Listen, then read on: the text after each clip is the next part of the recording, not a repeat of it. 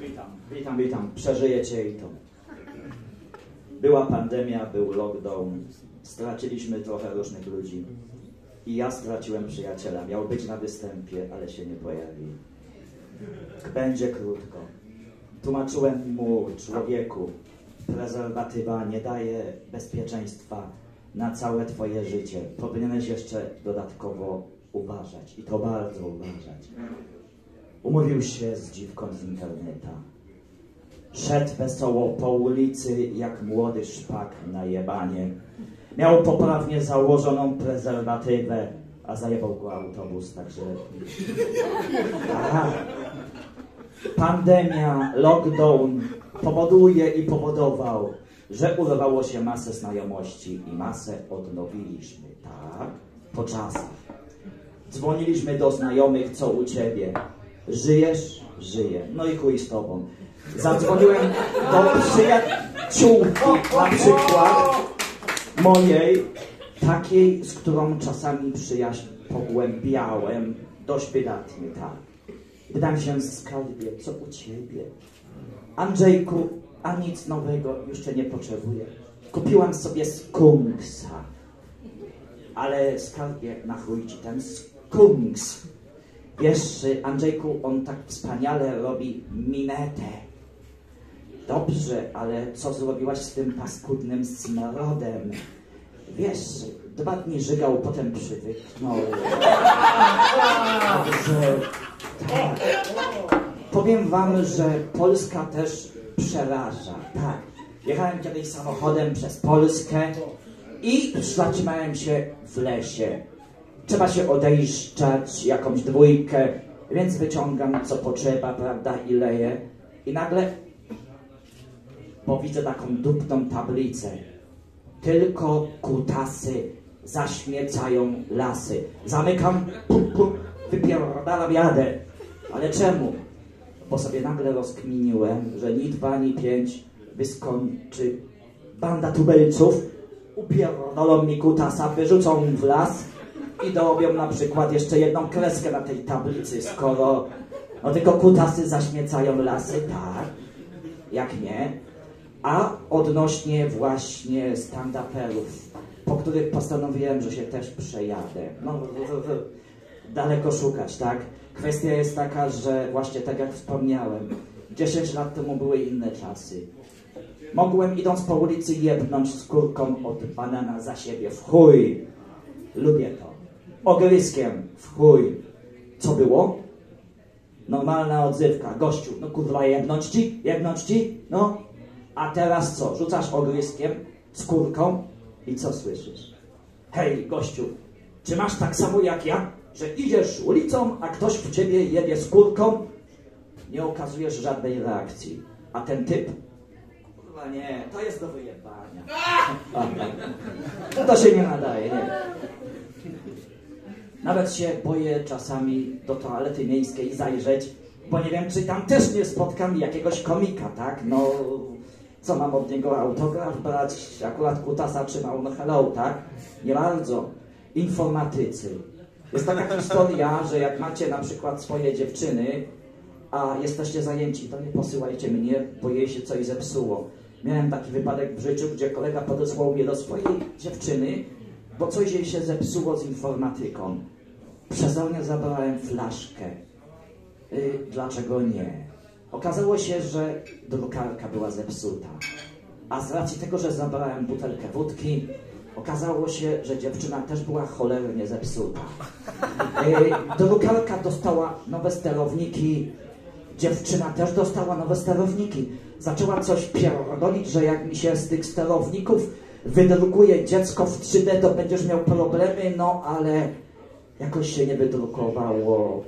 Albo sterowniki kiepskie, albo nie wiem, może nie to gniazdko było, nie wiem, nie wiem, nie wiem, nie wiem. Po drugie powiem, że open mic'i w moim wypadku. Zdarzają się różne sytuacje zawsze, jak się dostaje, jak jadę komunikacją na open mic'a. Kiedyś była taka sytuacja, gdzie pierońska cisza w autobusie słodziutki aniołeczek, może czterylatka dziewczynka, siedzi sobie na siedzeniu, nóżkami wywija, jakaś kobieta coś przy automacie kupuje bileta i to dziecko się nagle drze. Ała! No, przez swoją empatię obróciłem jedynie głowę, no cóż, żyję, no pierdolę to, tak? Po czym obróciła się kobieta i z troską y, matki Madzi, prawda, wiemy której, zapytała, coś cię boli? Dziewczynka znowu swoje. Ała, swędzi mnie. Y, chcielibyście słyszeć w tej chwili tą cholerną ciszę w autobusie, jaka zapanowała. Żeby się chociaż ktoś uśmiał, tak? A spróbuj się uśmiać w tym momencie, nie? Problem. Jestem, wyobraźcie sobie, podróżnikiem. Czasami gdzieś podróżuję. Gdziekolwiek jestem, czy to byłem na Ukrainie, czy to byłem w Las Palmas na lotnisku, na bezcłówce, Wszędzie kobietom wkręcam, że jestem doktor anestezjolog, a oni w to wierzą. Zwłaszcza jak poznałem na wschodzie zajebiście piękną dziewczynę.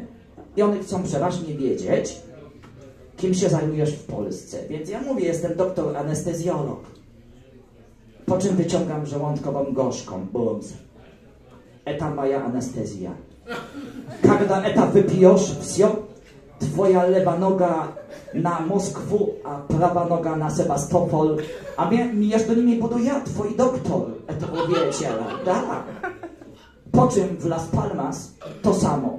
Widzę taka hucząca czterdziestka, burza blond włosów, taki milf, ale w lepszym stanie, tak? Po czym y, y, I am doctor anesthesiolog. Really? I work every day in my private clinic. Yes? Really? Really? This is my anesthesiology.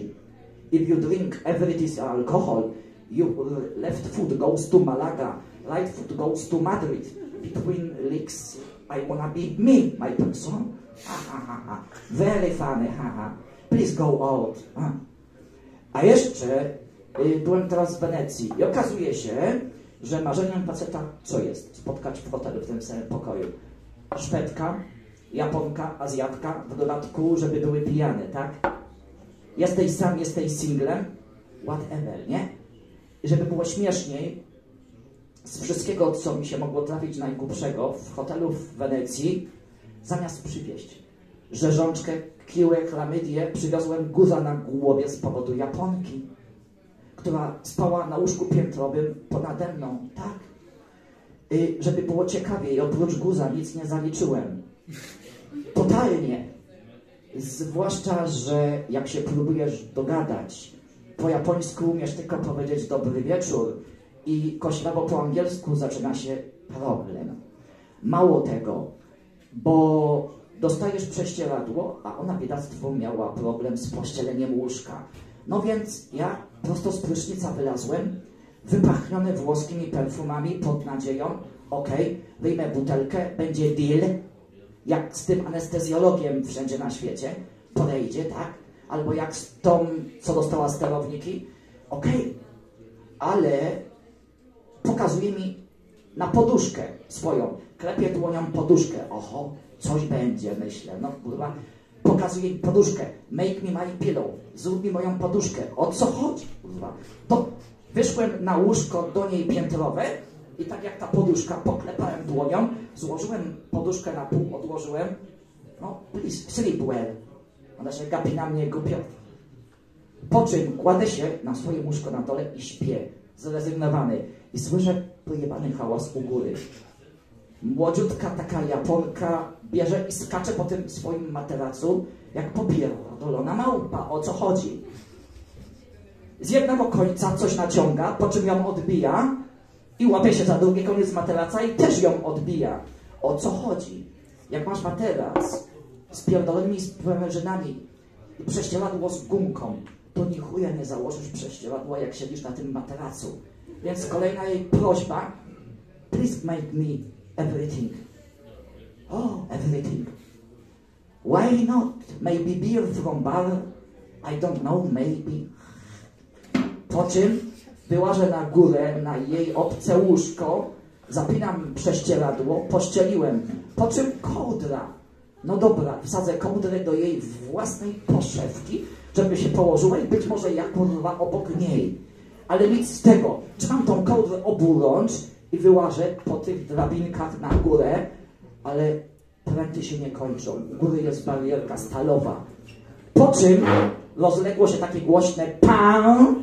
Wyjebałem w tę barierkę i krzyczę do Japonki. Fuck you, Venecja! I see stars. Yes, you see stars. Forgive me, please. Yes.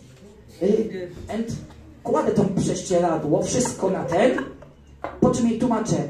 We have problem. At this time, Netflix is creating serial about us, you and me, and to curious situation. Yes, you know. Tyle ode mnie. Żeby się tam ta Japonka nie przyszliła. Andrzej Kruszek. Jesteście z nami? Jesteście ze mną? Wszystko ok? Wszyscy zdrowi? Jeszcze raz brawa dla Andrzeja.